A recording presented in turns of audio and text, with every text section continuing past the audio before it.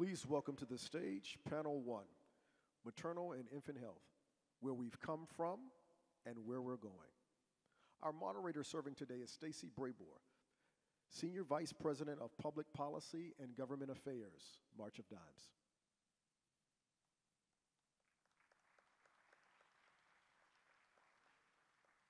The Honorable Muriel Bowser, Mayor of Washington, D.C.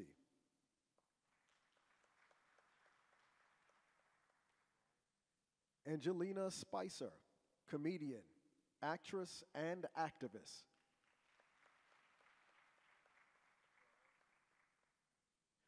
Dr. Robyn Jones, Senior Medical Director, Women's Health and Office of the Chief Medical Officer, Johnson & Johnson.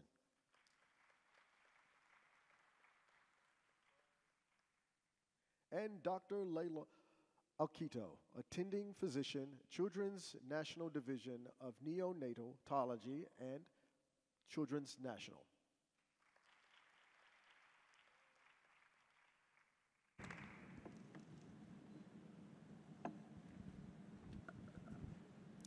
So, good afternoon, everyone.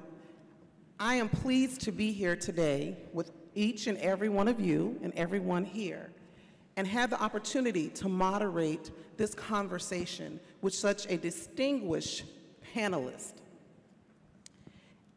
At March of Dimes, advancing the health of the mom and the baby is the core at the core of each and everything we do each and every day.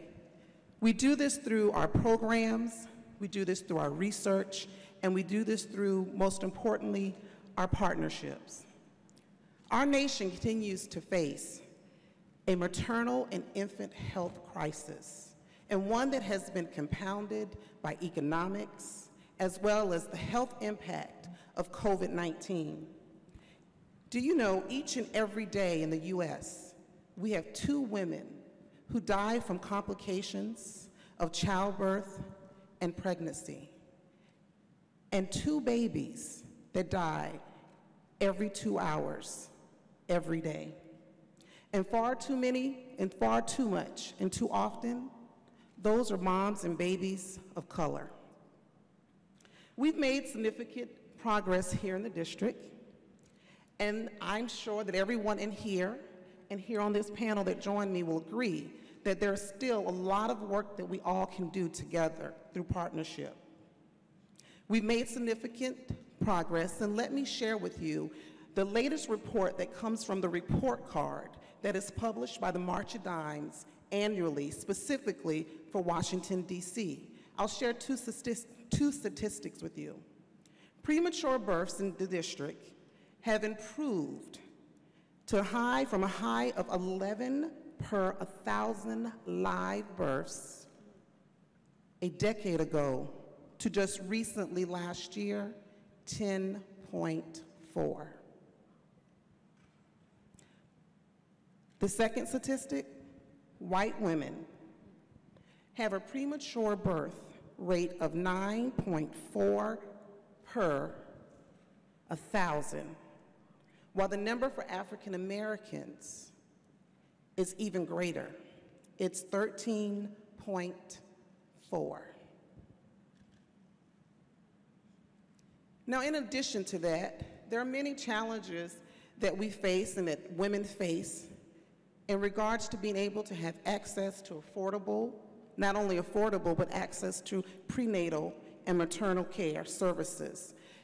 They live great distances, and because they live great distances, it is difficult for them to be able to go and travel to get the maternal care and the prenatal services that they should have. And what I'm happy to share with you is that today, here in Washington, D.C., and also in Southeast Ohio. March Dimes has partnered with Reckitt Info to put together a package of profiles and bond of a launch of programs that we're calling Better Starts for All. And together, through this program and partnering with March of Dimes and Reckitt, together we're bringing support, education, we're bringing clinical care, to those pregnant people and new moms throughout the area. And we're doing this creatively We're calling it Moms and a Baby Mobile Health Unit, health centers. These are health centers that travel throughout the community. So we're going to the community so that we can bring these services to these women. We'll share more about that with you at the Mayor's Summit, her, pro, her post event, which is a mommy mixer. And that mommy mixer is next Monday, September the 20th. And it's going to be at the Saddle East, the Saddleless Southeast location. So hopefully we'll be able to see all of you there. Again, the mommy mixer. Now, I'm excited to jump right into this conversation and talk to our distinguished panels. And so let's begin. Let's talk about how we can work together. So Mayor Bowser, my first question is going to go to you. We hear so much news about maternal mortality and morbidity across the United States. What is the status of maternal and infant health in the district, and what are some of the challenges? Well, thank you for that uh, introduction, and also thank you for the wonderful work that the March of Dimes is doing in the district, not just um, in the time that we've been uh, hosting this summit, but you must be 100 years old, uh, the organization. So we appreciate all that the March of Dimes is doing, but also recognizing um, the need to pivot in this space uh, and to make sure that we're talking about the, the issues that are affecting black and brown communities across our country. Um, but also as a nation, why are we behind other develop, developed nations in the world um, in the experience um, for moms and babies? So you've talked about uh, some of the numbers that we know impact the health of, of moms and babies, um, prematurity being um, one, of, one of the big ones.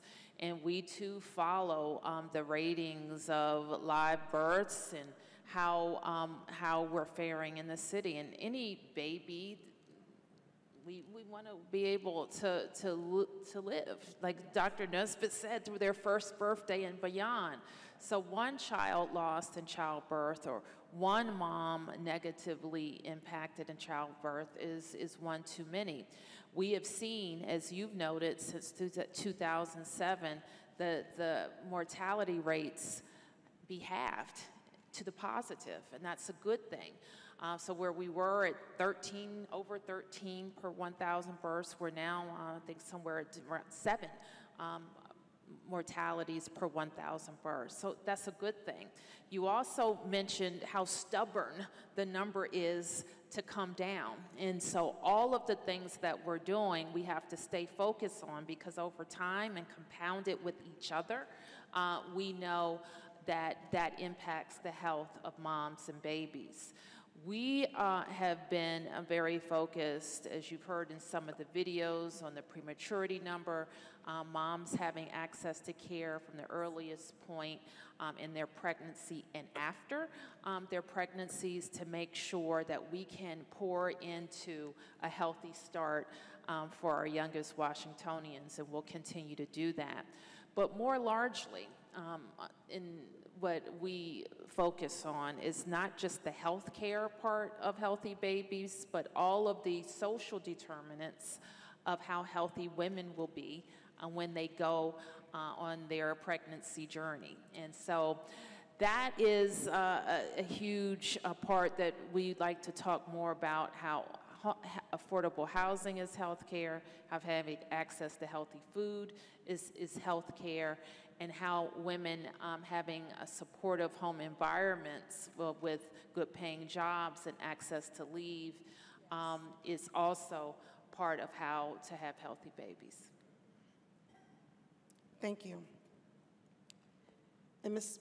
Spicer, let me ask you this question. How does your story and work add more to this conversation around maternal and infant health? Well, thank you so much, Mayor Bowser, for having me. Um, I am, I, I, feel like the unicorn on this panel uh, because I don't have a medical degree. Um, I have a, a, BFA from Howard University, so uh, big up to HU. Um, yes, absolutely. But I am a stand-up comedian. Uh, I'm a stand-up comedian, I'm an actress, I'm a social media influencer, um, and I planned to have my baby, to answer your question. Uh, I planned to have my daughter six years ago now uh, with my husband. I mentioned that I'm married because a lot of times people assume the black women don't have husbands. But I'm married. Uh, my husband and I planned on having our baby, uh, but we did not plan on me having a perceived traumatic birth, nor did we plan for me to get severe postpartum depression. Um, after I had my daughter, I, you know, I thought I did everything the right way. You know, I went to all of my prenatal visits. I had a good relationship with my OBGYN. Uh, you know, I had a stable relationship. We're homeowners. You check off the list. We thought we did it in the right way. We planned it. Um, but I was so blindsided by just the physical pain that I was in. And I won't go into the gory details. You got to come to the comedy show for that. But I was just so blindsided by the pain and how wrecked my body felt and the responsibility of now being someone's mother. And people always say, "Oh, no one can no one can prepare you. No one can prepare you." No, ma'am, they can't. Okay? And mentally, I was just I, I felt like my mind left the building. I and I say that jokingly, but seriously, I felt like the world turned gray. And where I'd usually seen things in vibrant colors and funny, and I just lost my sense of self. I describe it as I felt like my old self died. And I was mourning my old life. And I tried everything. I tried, I had a relationship with a therapist, so I continued with my therapy. Um, I started going back to church again. I tried to pray it away because I'm black and black people tell you, pray it away. So I tried that. I tried speaking to the women in my family. I tried, you know, turning to social media groups that I'm a part of and my social connections, and nothing helped. So ultimately, at eight months postpartum, my therapist recommended that I check into a psychiatric facility for treatment.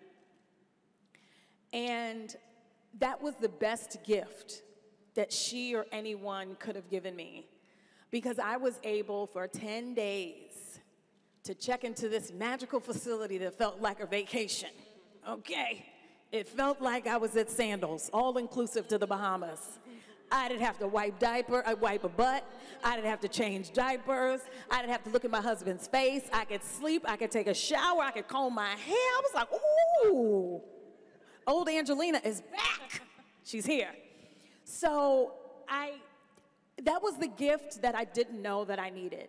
And I'm so thankful that I had access to care, uh, that I had a therapist who checked in on me and followed up and made sure that I was healthy and cared for. I'm thankful that my mom used was able to use FMLA and literally drop grab her purse and hop on a plane to Los Angeles where I live. Um, and she stayed for four weeks to help my husband and I transition. Um, it, it was just such a beautiful gift. So now I'm really on a mission to normalize the conversation around maternal mental health and normalize the conversation about what it's really like after you have a baby. Okay? Because it's not in a book, it's not in a manual, it is literally the stories from our experiences that will really help push this conversation forward. So I call it the hashtag postpartum revolution. Um, we've been on a national tour, I've met with lawmakers, and I'm really just looking to push the needle to normalize this conversation by way also of a documentary film that I'm working on. Thank you. Thank you. And so now I pose the question to you, Dr. Jones, and as well as to you, Dr. Okito. As practitioners, what is missing from the narrative about the state of maternal and infant health? I think Mayor Bowser, touched on it when she referred to those social determinants of health. It's where we're born, where we grow, where we live, where we work, where we play. Every one of those parameters impacts our wellness and the health care we received. let's talk about where we live, the environment. If you live in the inner city and you don't always have access to electricity, don't always have access to water that may be lead free, don't always have access to transportation because you don't own a car and you have to get to the medical center that maybe is only 10 miles away, but you don't have access or car fare to get there, that's an access issue. And that's due to your environment where you live, to the, I call it right now, the eternal racism that exists here in the United States, the haves and the have nots, no pun intended, and recognizing that each one of these really determines how well we can be. Where you grow, and when I say grow, it's where you're educated and whether you have access to it or not. And we're here in an urban environment. The same thing impacts those in a rural environment who don't have the economic access that they should have to be able to be successful and have a healthy lifestyle and provide the same for their families. And each one of those parameters impacts a woman's ability to have a long, healthy pregnancy. And Mayor Bowser referenced let's, you know, what's going on in this country. The United States is the only developed country in the world that has an increasing maternal mortality rate. It has the highest mortality rate for mothers more than any other developed country in the world. Think about that for a minute. Aren't we the richest country in the world? How can we possibly have the highest maternal mortality rate? And who's being impacted? Women that look like me. We are three to four times more likely to die related to a pregnancy than white women are here in the United States. And it's certainly worse, those numbers get higher depending where you live in the United States. And you think about that being, okay, that must be deep south. You know, it can't possibly be in a developed city where I live or a state where I live. Well, within those top five states, certainly those, you know, the usual players that you might think because of, you know, where people live in a more rural habitat, such as Louisiana and Georgia. But New Jersey's in that top five also. And there are other major states on the East Coast that are not far behind. That should not be happening. And in order for us to really address that, it is about advocacy. It is about political change. And there's a number of ways to approach that, and I know we'll be talking some more, so I'll leave that um, till later. Um, thank you. I think everyone has actually answered the question already, so thank you. Bye bye. I'm going to leave now. um, I first want to thank Mayor Bowser and her team for putting together this excellent summit. It's a great opportunity for us to come together and discuss these issues. It's truly an honor to be here and to represent Children's National. Um, I think you asked an excellent question about what's missing from the narrative. I 100% agree with what's been said before. I think, one, as Ms. Spicer said, the stories are missing. Often we're bombarded with a lot of statistics, um, but just to humanize it, it's so important to hear stories like that that were shared. Um, secondly, I agree the social determinants of health definitely is something that should be emphasized. Um, and, and, and, whenever I'm bombarded with these statistics, it's important for me to hear the next step, which is the why. And that is something that I think is often missing. Uh, we, we hear the stats, but, but rarely are there um, recommendations or proposals or ideas, hypotheses of why we think some of these issues exist, um, particularly when it comes to the healthcare disparities that we see that affect black and brown women and babies. Um, I think it is important for us to recognize the role of systemic racism, things like implicit bias as well, and how they all may play a role in some of these negative health outcomes that we're seeing. Um, I'll take implicit bias as an example, and this is that idea that we act and we do things based on subconscious stereotypes that we have. And in the healthcare arena, how does that play out? That could be me as a physician. I could recommend one treatment plan to, to a particular person, and someone else who has the same condition but looks differently from, from a different background, different race. Subconsciously, there's some stereotypes there that I have, and I recommend or withhold a certain uh, treatment plan for that person. That's how implicit bias plays a role in healthcare, and undoubtedly, we know that this has some effects on some of our health outcomes, particularly when it comes to mothers and infants. So when I when I read these statistics, when I hear about the disparities that exist, I'm really looking for an answer. I'm looking for the why, and I think it's really important that we look upstream and some of our and have those issues kind of addressed. So, thank you. Thank you. So the second question, and actually, uh, all of you addressed it, and Dr. Jones, you spoke to it as well. And so I'm going to phrase the question, and I'm going to start with you, Dr. Okito. It is, we know that maternal infant health isn't solely clinically determinants. And I think Dr. Jones spoke to it in terms of just social determinants as well. Dr. Okito, could you share a bit about factors impacting neonat- neonatal health outcomes? Sure, absolutely. I mean, I think as as mentioned before, the social determinants of health play a, a big role in the outcomes that we see not only for adults but also for the neonates as well. Um, as was mentioned, prematurity is the leading cause of mortality and morbidity for, for infants. Um, so when we think of that, we think of what are the causes of prematurity.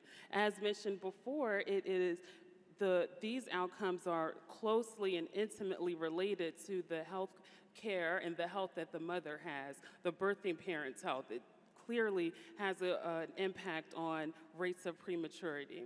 So when we're looking at, at this, we have to decide are the mothers receiving high quality and early prenatal care?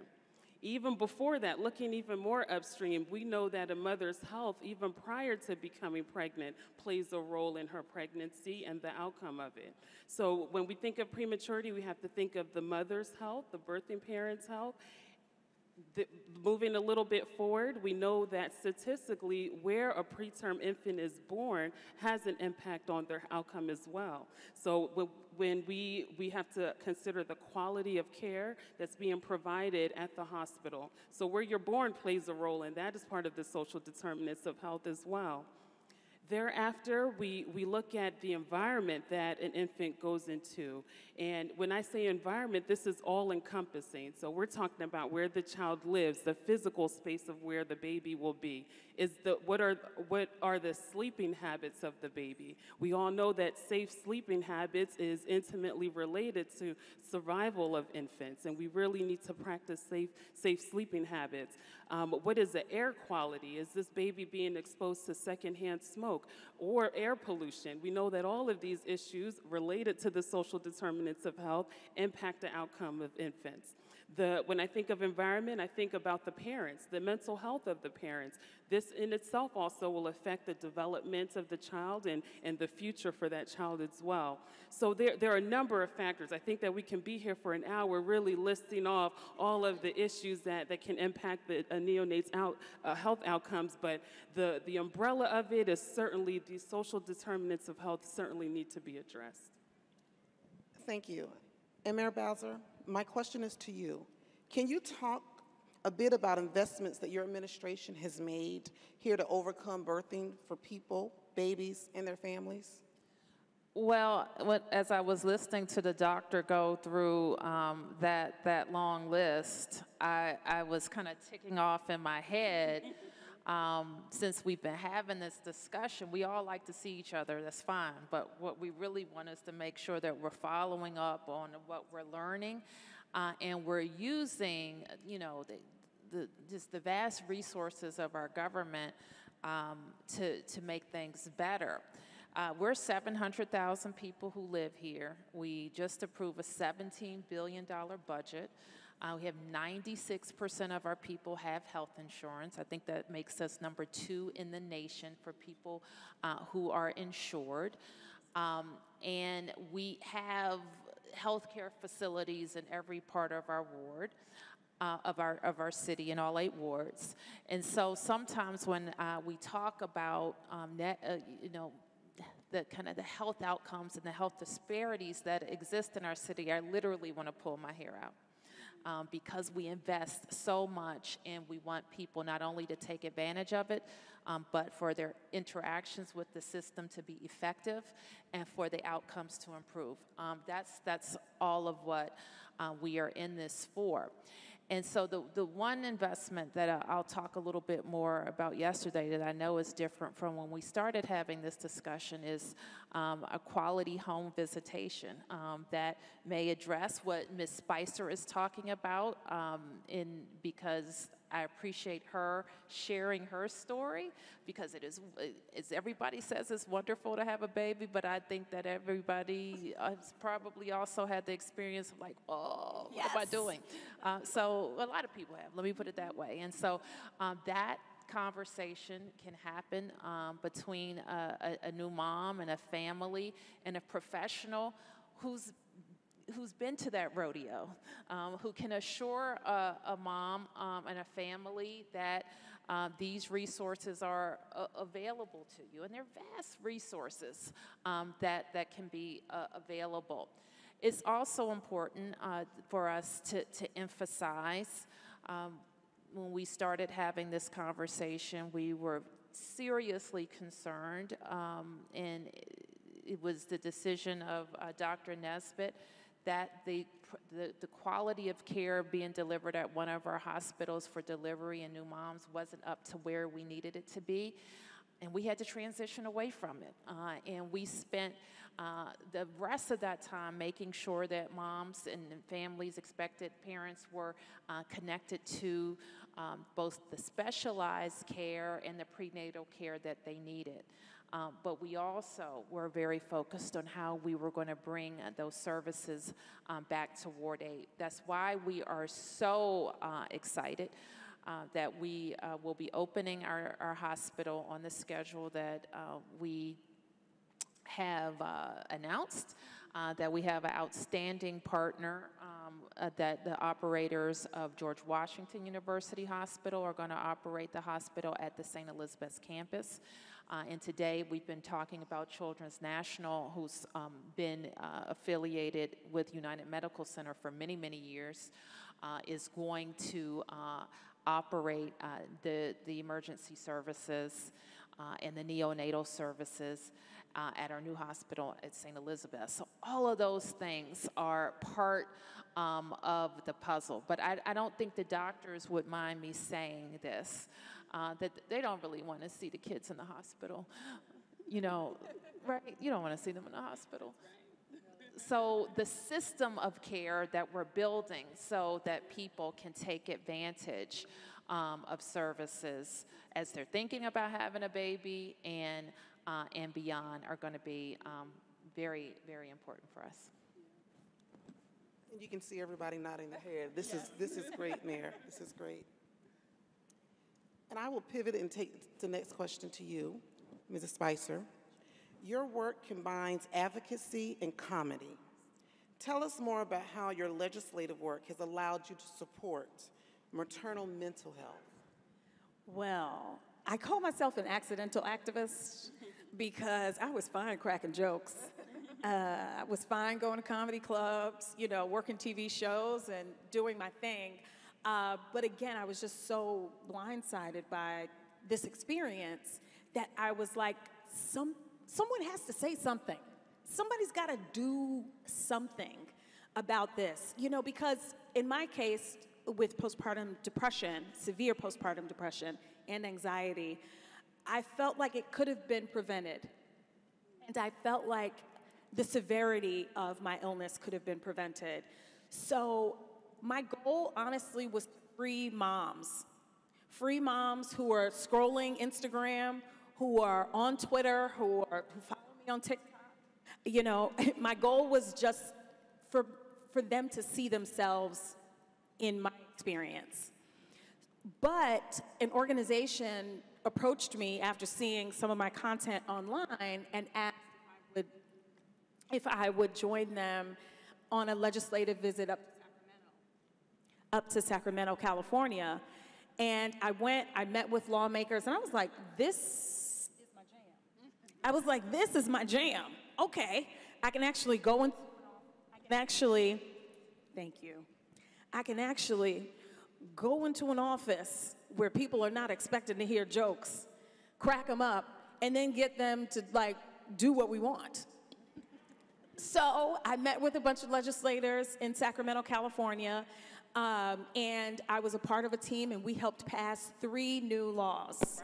Three new bills of legislation to help the mamas. I was like, yes, this is it. So now in California, moms have to be screened.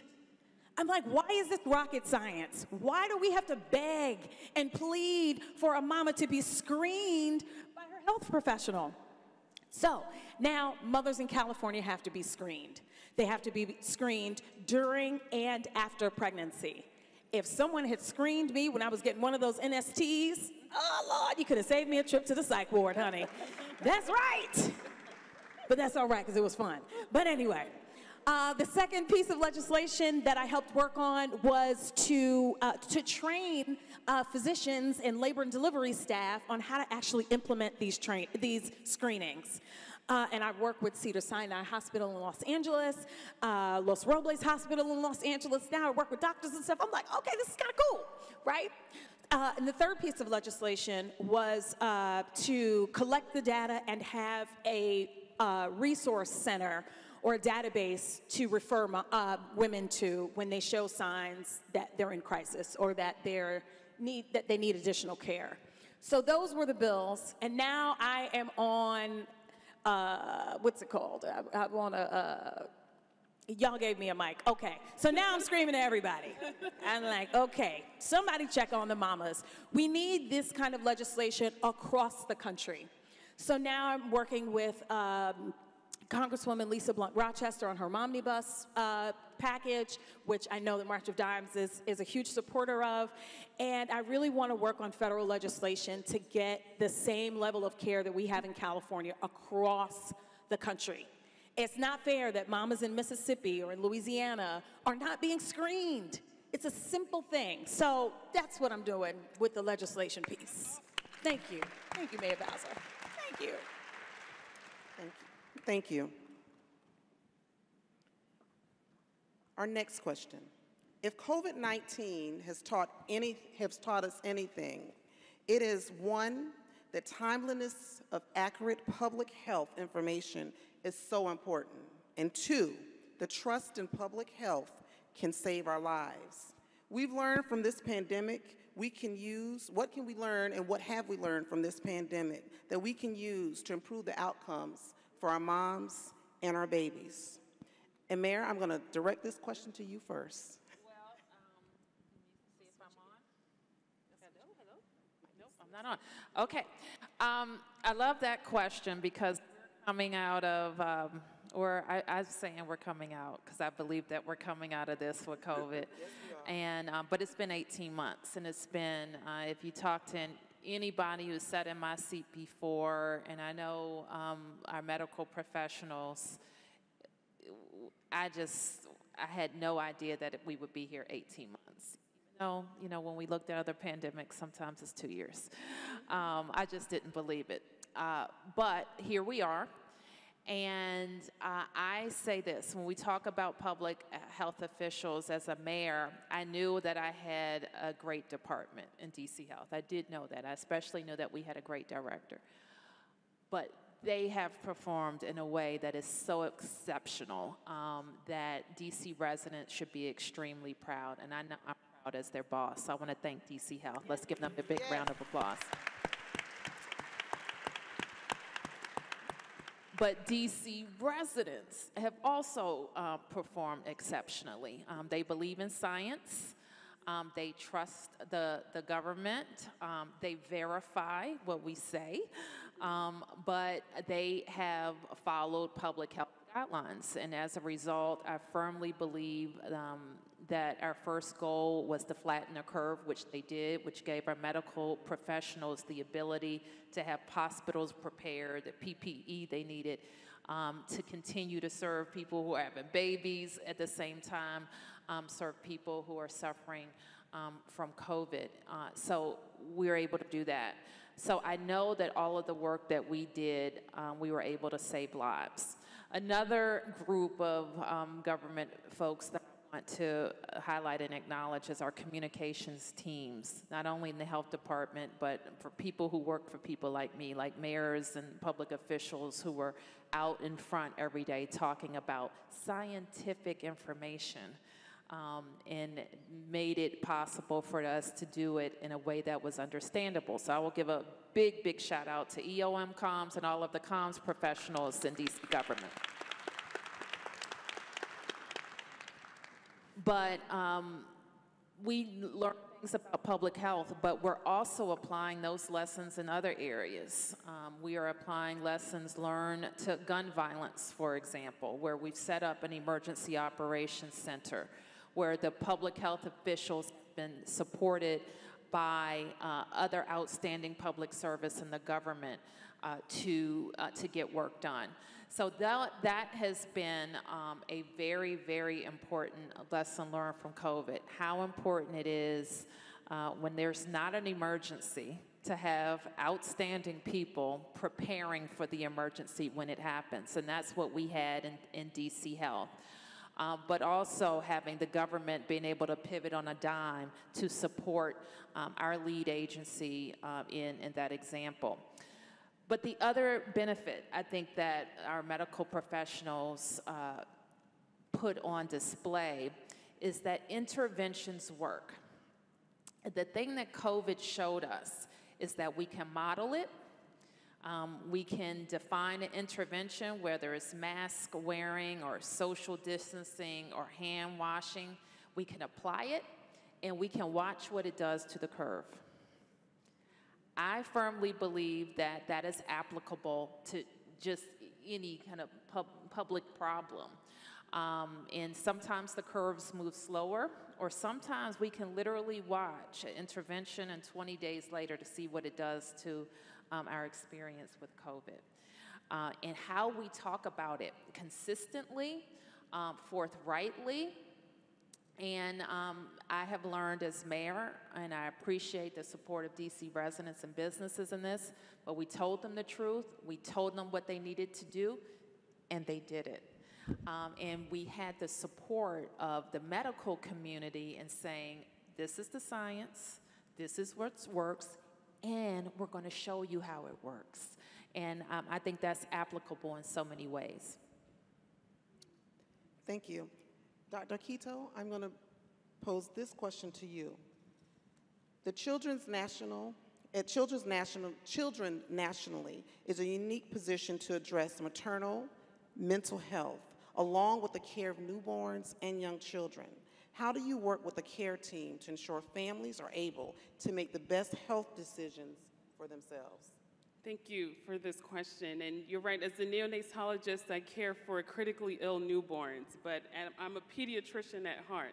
So my patients are the, the kids or the babies, but any pediatrician will tell you that the parents are also your patients to some extent. Um, and that looks different in, diff in, in, different settings. But in the NICU in particular, um, it is our duty to really help to support parents because they are in crisis. Um, you know, we expect to have a well and healthy newborn baby, but the parents that we're interacting with are, are in crisis mode because their, their infants are, are sick. So I, I have the privilege of working with a, a, a a nice team of physicians, nurses, social workers, and psychologists to really help to address the mental health of our parents in the NICU. Uh, we started by screening parents because, as, as I said, these parents are at risk, and we know that they're, they're at risk because they're in crisis.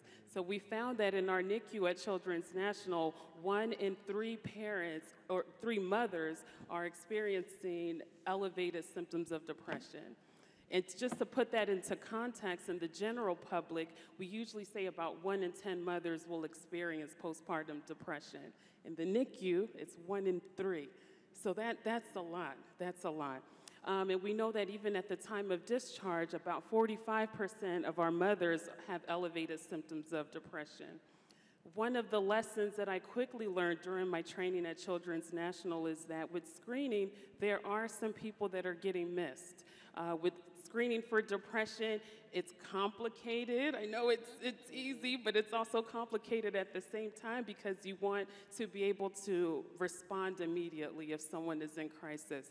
So at the moment, our system is to screen parents that are there in person at the bedside of their infant.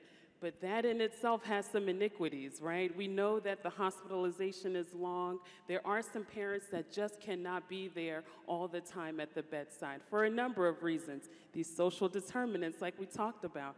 Some parents have to go back to work, they don't have alternative child care, there are transportation issues. So there, there are some parents that are getting missed. Our goal right now as a team is to really figure out how to get to those parents because they too are certainly at risk, even, and I would dare say at more risk for having depression than those parents that, that are um, at the bedside. So at the moment, our team is partnering with uh, a company to leverage technology to help to address this, this issue.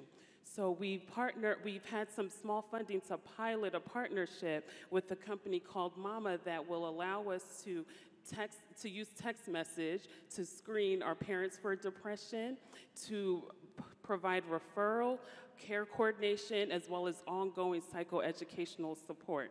So with that, that is one of the steps that we're taking at the moment to see how can we leverage technology to expand our screening. In addition, we're also, uh, we also had small pilot funding to bring a psychologist into the NICU because that in itself is a barrier. We do, we screen and then we refer parents outpatient, but that, the follow through with that is difficult. So by having a psychologist in the NICU, it's a one-stop shop. The parents can be there with their parents and also get the therapy. And we've also we're able to leverage technology with this so that we can use telehealth to, to provide the support to parents that can't be at the bedside. So overall, if we can improve the mental health of our parents in the NICU, it will not only be beneficial for, for effective shared decision making with the parents, but it's also very important for once our babies are discharged. We go through a lot of work to really improve the survival of our ill infants, but we are just a small part of that child's life. The parent is really who is going to be there to take care of that infant once they're discharged. So addressing their mental health early and effectively is part of our duty in the NICU. And so as, as we come to a close, I have one uh, final statement, and then I will pose a question um, to each of you quickly. While we know that the awareness of maternal and infant mortality rates is crucial, crucial, we also know that we must move beyond awareness to action, and that is moving towards action. As we close, the question I pose to all four of you, what does it look like to move to action to improve outcomes for moms and babies? And Mayor Bowser, I will start with you. Well, um, I, I want to say a little bit more about advocacy. We heard um, Ms. Spicer talk about her advocacy in California, and as I was sitting here, I was thinking that we're in Washington, D.C. This is a national summit, and our Congress right now is not taking action on something important to moms. Um, and healthy families. And there are probably many things. I know the March of Dimes probably has a long list that you want um, to move forward on. Um, but the president's infrastructure bill focusing on families is one such thing that needs to move um, because it will ensure that people can take care of their families when they need care. Um, and that child care providers, elder care providers are better trained and better paid. Uh, and one thing we know that moms are doing, if you're a mom like me, you have a little one and you have senior parents, they both need care. I'm in, a, I'm in that sandwich generation where I'm trying to figure out both ends. Um, and uh, we know that we are relying on people to do some of the most important work in our in our families, and that's to help the little ones and help seniors when they need more help after they've spent their whole lives working. Why shouldn't people have the dignity of being cared for in their own homes? And so we need to uh, we need to really be focused on making sure we're making life better um, for our care providers. So that's one piece of action um, that that we need to continue to take. I also focus a lot. Uh, we have a policy in the district. Um, certainly, we follow a health and all policies that the Department of Health makes sure that all of the agencies, no matter what they're thinking about, are thinking about the health of our of our residents. Um, but we follow also a, policy called Housing First. And largely, that term is used when we're talking about ending homelessness. Uh, but it's so important um, when we're talking about any health outcome because people can be can make a lot of um, better decisions when they have safe and affordable housing. When they have great housing that's close uh, to groceries, then they can make better health care decisions. Uh, when we have housing in parks and rec that are less than a mile away from uh, every resident is less than a mile away, we can have healthier outcomes. When we can make sure that we have the proper inspectors to go in to make sure that there's no lead paint, uh, we know that our children can enter school healthier. Uh, when we can expand, like we've been able to do, opportunities for people of all incomes to have affordable uh, summer camp opportunities we can have healthier families. So, those are the actions um, that as we go into a new budget cycle where we're investing so much in early child care, so much uh, in affordable housing, so much in uh, quality grocery in all parts of the city, I know um, that those things will compound. We'll have healthier women, healthier moms, um, and healthier babies.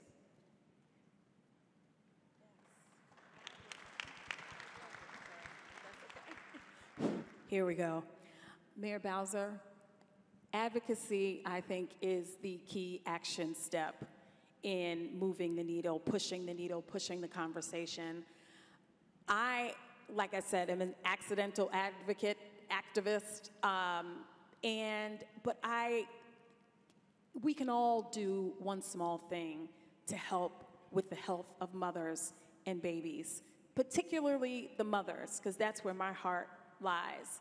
Um, mostly because if mom is not healthy, no one's healthy around her.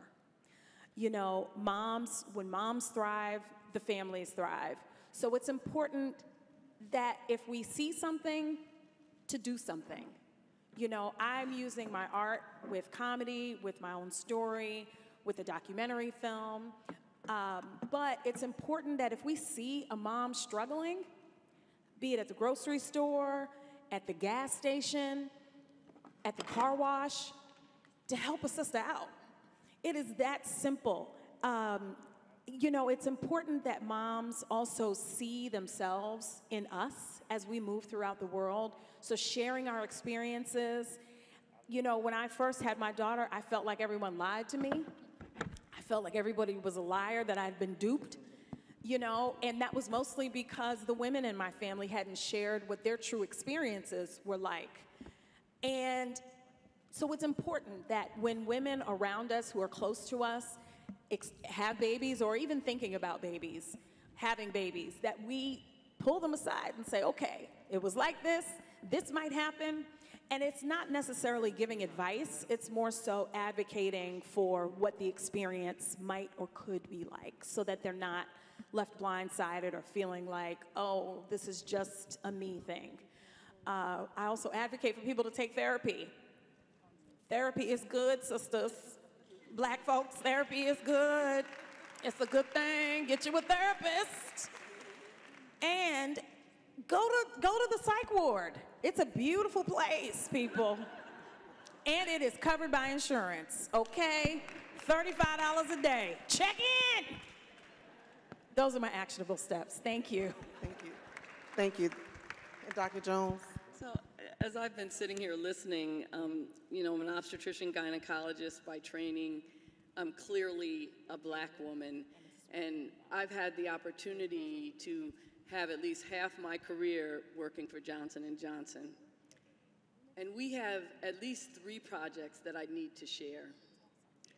One is the Equitable Maternal Health Coalition, where we partnered with the American College of OBGYN to establish a coalition, which is now led as a nonprofit by the March of Dimes, to really look at advocacy and policy and where we can make a difference. We were one of the first corporations to support the Momnibus Act. And on a state level, we have a toolkit for state legislators to really to be able to get their states to create the Maternal Mortality Review Committee that will provide the data that we need to take action. You have to have data to act upon. And the Maternal Mortality Review Committees, which are now required for every state, funding's not always available, but the information on how to get it up, out, to get it up and running is something that we have in our toolkit. Another project that we have is called the Georgia Project. In my conversation earlier, I mentioned, you know, the states that have the highest maternal mortality rate here in the United States. Georgia has remained in the top five. It's been one, it's been two, but it's still in the top five. There we have a partnership with several academic institutions, including Morehouse School of Medicine, Emory, Georgia Tech, Georgia State. We have an advisory panel, and we are also partnering with another corporation, with Walmart, to provide blood pressure cuffs and things that a woman would need to be able to monitor herself during a pregnancy. As part of the Georgia Project, and we're also partnered with um, the, I believe it's the Black Mamas uh, Coalition there. We are also looking at things like telehealth and technology and how we can bring them to this community and how they can benefit. And everything we do is research based, that's who we are. So whenever we're doing something, we're collecting data that can be used. And then third, but not last at all, is a project that I'm personal leading, personally leading, which is called the Hack for Equity.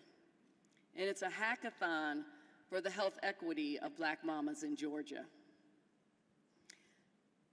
What's so powerful about it is that it's not just a technology solution. And I know those of you familiar with hackathon, that's how you always think of that word in hacking. It has to be tech. But it's also an ideathon. There will be winners selected, there will be cash prizes awarded.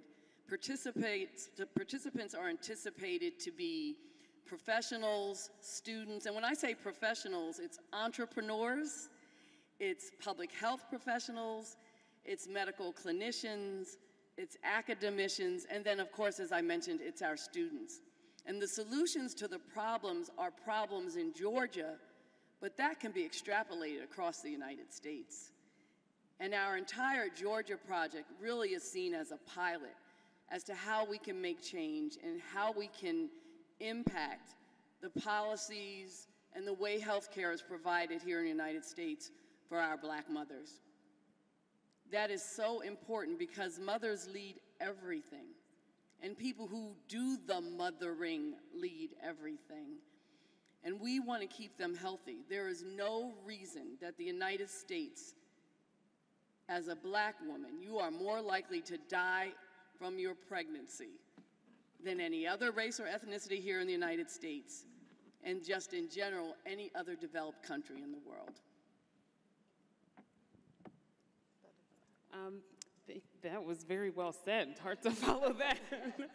um, I guess I'll take it from the perspective of a clinician. How can we go from awareness to action? Um, and I really encourage all of my colleagues or anyone that has interface with patients at the bedside. I think it really starts from within. I think we need to ask ourselves some hard questions. What role am I playing in perpetuating some of these health disparities? I think we really need to acknowledge and recognize, identify our own implicit biases. What decisions am I making that is making the issue worse? There are actual tests that you can take that will help uncover some of your subconscious stereotypes. I encourage all of my colleagues to take them uh, because it's very telling. And then constantly recognizing that whenever you're in that scenario as a clinician, recognizing your biases and really encouraging yourself to make decisions based on your better clinical judgment as opposed to your subconscious stereotypes. I think as a clinician, we also need to take the onus on us to build trust with our patients. When there's no trust, our patients are not going to follow through with the recommend- recommendations, which will have long term impact on the health outcomes. Um, I think the clinicians, we need to take the responsibility to understand the historical context of this mistrust. It's not up to the patient to explain it to us. We can do that homework. Google is available to everyone. So you can Google it. Why is there mistrust in certain communi- communities and the healthcare system? I think that is up to us to really build and have an open communication with our with our patients. So certainly, I think in, it's one thing to be aware. It's the next step to take some actions, and I think that these are some really important steps that clinicians need to take. And I think just overall as a healthcare system, we need to continue to encourage these types of dialogue. As we said, the, the social determinants of health really have a big impact on many of these health disparities that we've discussed these, we need to get out of the walls of the hospital and really build on these partnerships within the community. And I just want to put that plug out there that at Children's National, we're committed to this work. We're open to these partnerships, and if anyone is, is also equally like minded and ready to get to work, we are too, as well at Children's. Thank you. And so, Mayor Bowser, what I'll say to you is thank you for your leadership.